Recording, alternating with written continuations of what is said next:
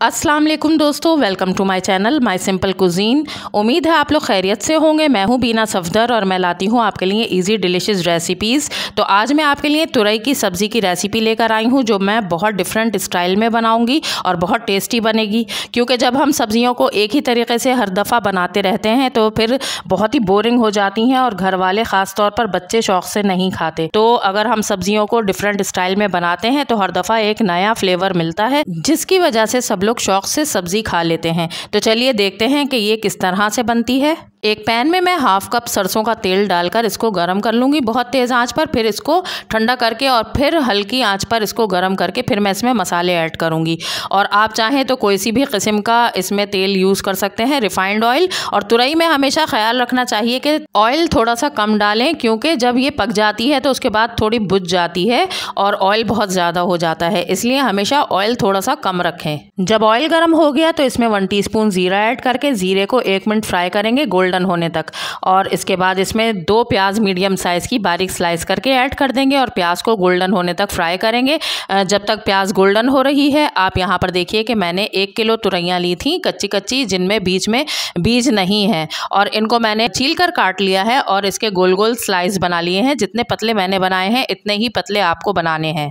प्याज यहाँ पर गोल्डन हो गई है लाइट गोल्डन करना है इसे। अब हम इसमें वन टेबल स्पून लहसुन का पेस्ट शामिल कर देंगे। और लहसुन को हम एक मिनट तक फ्राई कर लेंगे, इसका कच्चापन दूर हो जाने तक। लहसुन फ्राई हो गया है तो इसमें कुछ सूखे मसाले ऐड करेंगे, जिसमें सॉल्ट हाफ़ टी स्पून है। आप अपने टेस्ट के अकॉर्डिंग इसमें ऐड करेंगे सॉल्ट और कुटी हुई लाल मिर्च हाफ़ टी स्पून पिसी हुई लाल मिर्च वन टीस्पून हल्दी पाउडर हाफ़ टी स्पून अब इन सारे मसालों को शामिल करने के बाद हम इसमें वन टेबल स्पून पानी ऐड कर देंगे ताकि ये मसाले जले नहीं। अब इन मसालों को प्याज के साथ दो मिनट भून लेंगे। मसाले भुन गए हैं तो इनमें दो टमाटर मीडियम साइज़ के स्लाइस में कट करके ऐड कर देंगे। टमाटर को एक मिनट इन मसालों के साथ चला लेंगे और अब इनको कवर करके लो फ्लेम पर टमाटर के गलने तक पकाएँगे।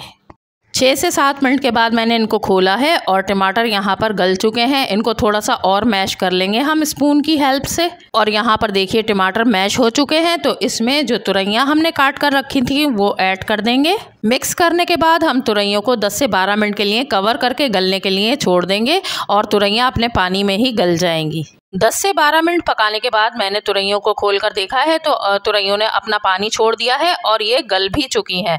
अब मैं फ्लेम को हाई कर दूँगी और इनका पानी ड्राई करूँगी, लेकिन साथ साथ मैं इसके अंदर एक कैरी है मेरे पास, ये कैरी बिल्कुल कच्ची कैरी थी और इसको मैंने छोटे छोटे टुकड़ों में कर लिया है, इसको मैं इसमें ऐड कर दूँगी। कैरी से एक बहुत ही अच्छा सा फ्लेवर आता है तुरैयों का, आप इसमें डालकर देखिएगा, बहुत मज़े की बनती है। साथ ही मैं इसमें पाँच से छः हरी मिर्चें ऐड कर दूँगी और चूँकि क्योंकि इसमें अभी पानी मौजूद है, इसलिए इसको हम हाई फ्लेम पर रहते हुए ही दो मिनट के लिए कवर करके पका लेंगे ताकि कैरी भी अच्छी सी गल जाए और उसका फ्लेवर भी इसमें बहुत अच्छा सा आ जाए। और यहाँ पर आप देखिए, दो मिनट के बाद मैंने इसको पकाने के बाद खोला है तो यहाँ पर पानी रिड्यूस हो गया है और अभी इसको एक मिनट मैं और चला लूँगी थोड़ा सा।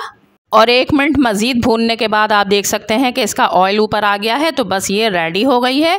अब हम फ्लेम को ऑफ़ करेंगे और इसे डिश आउट करेंगे। तो ये देखिए कितनी झटपट से ही हमारी ये मज़ेदार सी लजीज तुरैयाँ तैयार हो गई हैं। इनको आप नान या चपाती के साथ खाएँ, बहुत मज़े की लगती हैं।